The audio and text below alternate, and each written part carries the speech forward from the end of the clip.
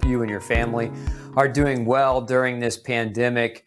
Uh, do me a favor, tell me hello, tell me where you're tuning in from in the world. We're going to dive in tonight to, to the topic of tonight's show is what should you be doing now? So, um, a lot of you are locked into your homes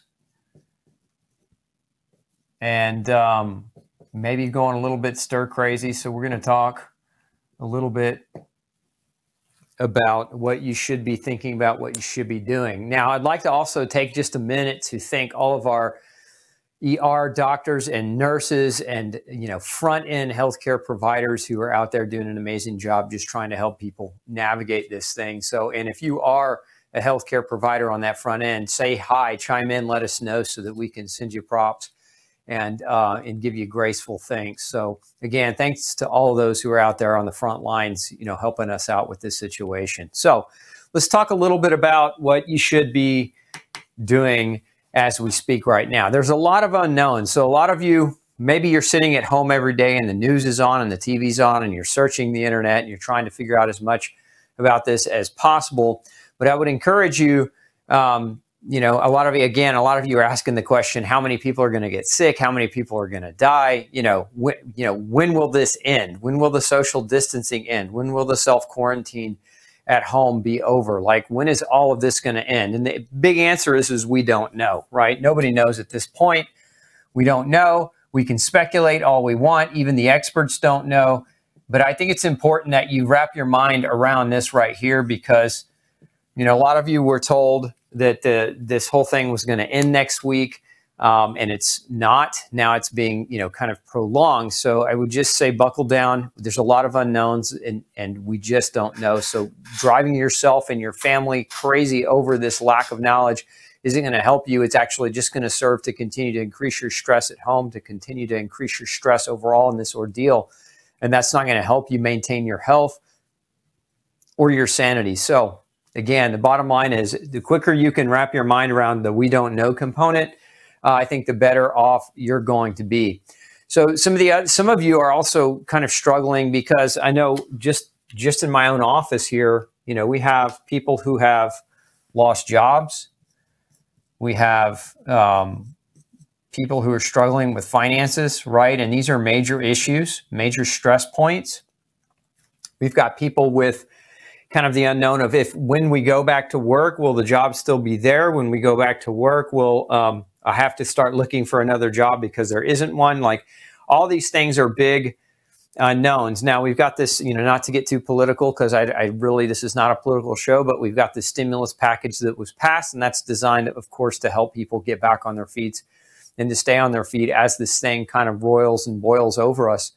But bottom line is, we don't know and if you fall in these categories here, the best thing that you can do is is kind of well, it's easy for me to stand here and say to let it go, but how many of you know the serenity prayer? So let's just put up that because I think that's probably the best advice that I could give any of you in this time. And that, very simply put, God grant me the serenity to accept the things I cannot change, the courage to change the things I can, and the wisdom to know the difference. And right now, what you can't control is you can't control who's going to lose jobs, whether the job's going to be available, how long we're going to be on self quarantine. You can't control how many people are going to be sick, how many people are going to die. You can't control um, the timing or the time frame around this. It's just going to run its course, and that's all you can really do. And and so, in times of high stress, especially if you're a Type A personality, and a lot of you are, um, you want to control every aspect of life,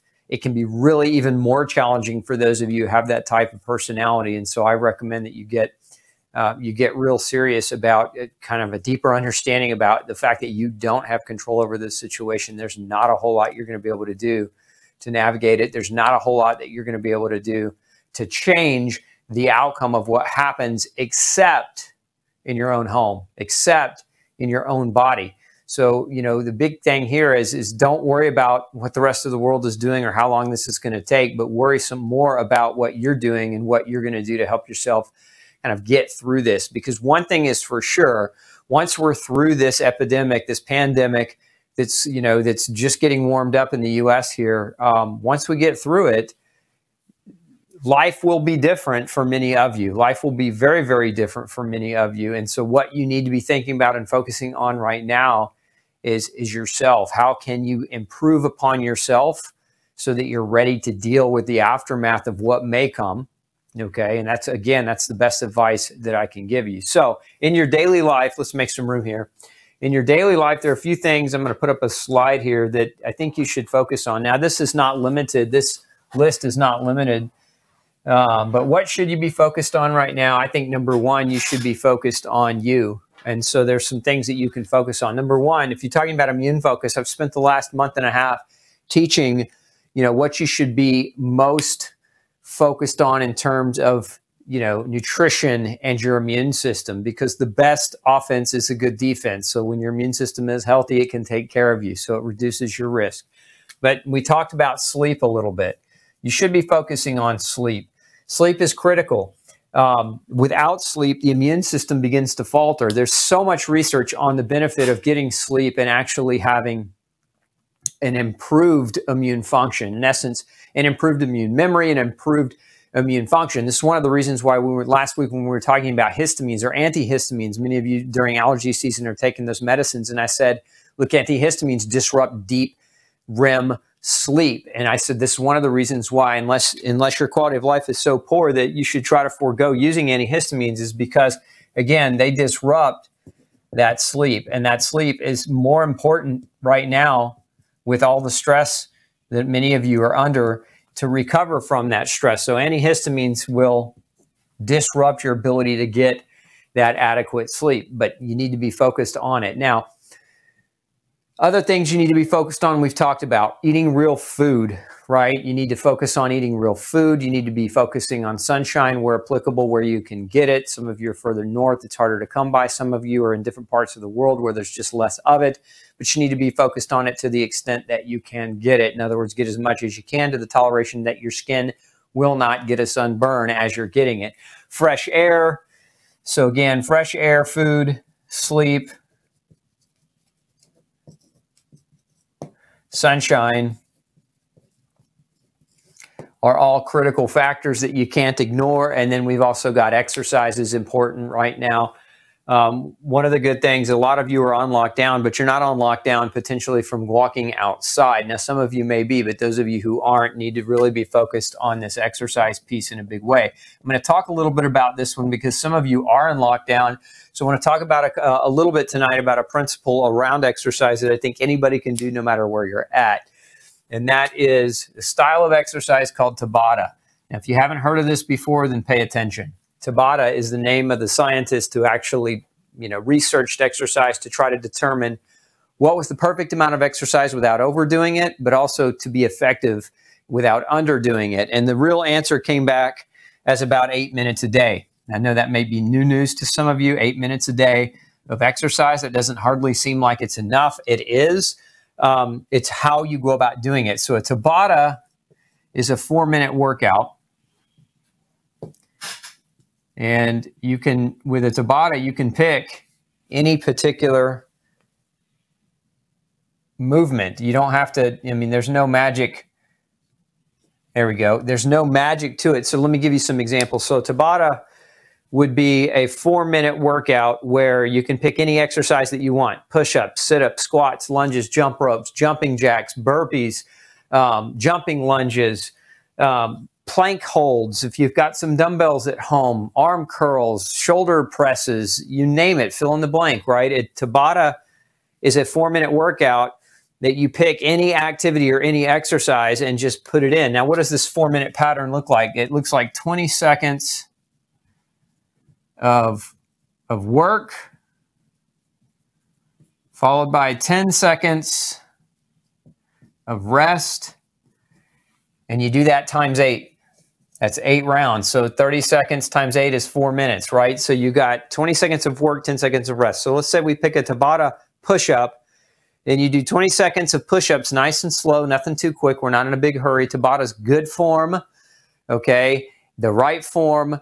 And, and, and you, you want to make sure too that you don't overdo it. So pick something, you know, if you're using weights, pick something that's relatively light. If you've never done this before with a push up, if you You, if you haven't done a push-up in 10 years, you may not start with a with a solid push-up on the ground. You might start with a wall push-up where you're pushing against a wall or where you're pushing against a high countertop or something of that nature. But scale the movement to your capacity to do it. But Tabata can be done at home. You can do, you know, Tabata a four minute workout. You know, again, 20 seconds of work, 10 seconds of rest. You do that eight rounds and you're done. After four minutes, you're done. Then you rest four minutes. Okay. Then you pick one more exercise and repeat. So, you know, if you really want to kind of get balanced about it, you know, you can do this four days a week. You don't even have to do this seven days a week. You can do this four days a week. But when you do it, pick an upper body activity and then pick a lower body activity. So if you're doing two of these Tabatas four times a week, you know, you're working in one aspect, you're working your lower body, another aspect, you're working your upper body. And this is all you really need to keep yourself healthy without a gym. So those of you who can't get to the gym right now, those of you who are landlocked in your home, you know, this Tabata style of activity can be very, very advantageous because number one, it doesn't require a ton of time. Number two, it doesn't require a lot of equipment. Remember, most of the equipment that you'll need for this is really pretty much body weight stuff. Now, if you have some equipment at home, more power to you. You'll have more variety. But again, push ups, sit ups, squats, lunges, plank holds, jump rope, jumping jack, burpees. These are all body weight stuff that require virtually no equipment. If you don't have a jump rope, you can jump in place. I mean, so there's really you don't really need any equipment to do Tabata style workouts and they will work you out. The whole premise of this is again with this 20 seconds on, 10 seconds off, you get to round eight, actually you get to round four, you're going to be panting pretty good and you're going to be tired to a certain extent, but you get to round five and it's going to get harder and harder and harder to five, six, seven, eight. You get to that eighth round and it's going to burn really, really bad. And it's going to, again, that burn is what we're after. That burn means that you're working your body well enough to improve your muscle tone. Remember, we've talked about improving immune function. Uh, we haven't really talked about it in depth with exercise, but muscle mass, muscle tone is critical for immune function because what happens to a sick person laying in a hospital bed when their when their immune systems don't have the strength to carry on is their immune systems start taking from the muscle, right? So your immune function and your muscle tone go hand in hand. When your immune system needs more help, it will steal your muscle to make antibodies to help you fight. So you want to have, you know, plenty of muscle tone in this regard. Now, if you if you don't at this point, and you know, it's not it's never too late to start building muscle. It's never too late to start doing this type of exercise. And remember, eight minutes is not so much that it's going to wipe you out and wear you out and make you so tired that you can't function, or suppress your immune function because you've worked too hard. And that's why I encourage this style of activity right now for those of you who are stuck at home, especially if you don't have a gym or if you're used to having kind of fancier equipment. Now, because you're stuck at home, if you want to, you can just type this in, type this in, and you can look at different examples of Tabata workouts the, using body weight activity to get more ideas if you like. But this is the style that I would highly encourage you to implement right now as something that you can do. There's never been a better time in your life, and there's never been a better excuse for you not to be able to exercise than right now, especially if you're on self quarantine at home. Hey, don't forget to check out the rest of the series right here. Make sure you hit subscribe below. And as always, thanks for tuning in.